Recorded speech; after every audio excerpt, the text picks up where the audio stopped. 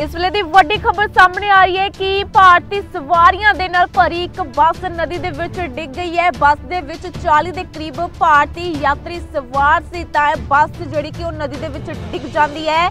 UP number ਵਾਲੀ ਇਹ ਬੱਸ ਸੀ ਜਿਸ ਦੇ ਵਿੱਚ ਕਿ 40 ਦੇ ਕਰੀਬ ਭਾਰਤੀ ਸਵਾਰੀਆਂ ਸਵਾਰ ਸੀ। ਤਾਂ ਦੱਸਦੇ ਕਿ ਕਈ ਲੋਕਾਂ ਨੂੰ ਰੈਸਕਿਊ ਵੀ ਕੀਤਾ ਗਿਆ ਹੈ। ਹਾਲਾਂਕਿ ਅ, ਜਾਨੀ ਨੁਕਸਾਨ ਕਿੰਨਾ ਕੁ ਹੋਇਆ ਇਸ ਬਾਰੇ ਜਾਣਕਾਰੀ ਸਾਹਮਣੇ ਨਹੀਂ ਆਈ ਤਾਂ ਨੇਪਾਲ ਦੇ ਵਿੱਚ ਇਹ ਬੱਸ ਹਾਦਸਾ ਵਾਪਰਦਾ ਇਹ ਬੱਸ ਪੋਖਰਾ ਤੋਂ ਕਾਠਮਾਂਡੂ ਜਾ ਰਹੀ ਸੀ ਜਿਸ ਦੇ ਵਿੱਚ ਕੀ 40 ਦੇ ਕਰੀਬ ਭਾਰਤੀ ਯਾਤਰੀ ਸਵਾਰ ਸਨ ਤਾਂ ਭਾਰਤੀ ਸਵਾਰੀਆਂ ਨਾਲ ਭਰੀ ਬੱਸ ਨਦੀ ਦੇ ਵਿੱਚ ਡਿੱਗ ਗਈ। ਨੇਪਾਲ ਦੇ ਵਿੱਚ ਇਹ ਭਿਆਨਕ ਬੱਸ ਹਾਦਸਾ ਵਾਪਰਿਆ ਭਾਰਤੀ ਸਵਾਰੀਆਂ ਦੇ ਨਾਲ ਭਰੀ ਹੋਈ ਸੀ ਇਹ ਬੱਸ ਅਚਾਨਕ ਨਦੀ ਦੇ ਵਿੱਚ ਡਿੱਗ ਜਾਂਦੀ ਹੈ। ਕਈ ਲੋਕਾਂ ਨੂੰ ਰੈਸਕਿਊ ਕੀਤਾ ਗਿਆ ਹੈ। ਪੋਖਰਾ ਤੋਂ ਕਾਠਮਾਂਡੂ ਜਾ ਰਹੀ ਸੀ ਯੂਪੀ ਨੰਬਰ ਵਾਲੀ ਇਹ ਬੱਸ। ਤਾਂ ਤਸਵੀਰਾਂ ਵੀ ਸਾਹਮਣੇ ਆਈਆਂ ਨੇ। ਇਹ ਸਿੱਧੀਆਂ ਜਿਹੜੀਆਂ ਕਿ ਤੁਹਾਨੂੰ ਦਿਖਾ ਰਹੇ ਹਾਂ। ਜਿਵੇਂ ਕਿ ਤੁਹਾਨੂੰ ਪਤਾ ਹੈ ਕਿ ਬਾਰਿਸ਼ ਦਾ ਮੌਸਮ ਲਗਾਤਾਰ ਜਾਰੀ ਹੈ। ਤਾਂ ਨਦੀਆਂ ਤੇ ਨਾਲੇ ਉਫਾਨ ਤੇ ਬਹਿ ਰਹੇ ਨੇ ਤਾਂ ਜਿਹੜੀ ਬੱਸ ਹੈ, ਜਿਸ ਦੇ ਵਿੱਚ ਕਿ 40 ਦੇ ਕਰੀਬ ਭਾਰਤੀ ਯਾਤਰੀ ਸਵਾਰ ਸੀ, ਤਾਂ ਬੱਸ ਨਦੀ ਦੇ ਵਿੱਚ ਡਿੱਗ ਜਾਂਦੀ ਹੈ। ਹਾਲਾਂਕਿ ਕਿੰਨਾ ਕੁ ਜਾਨੀ ਨੁਕਸਾਨ ਹੋਇਆ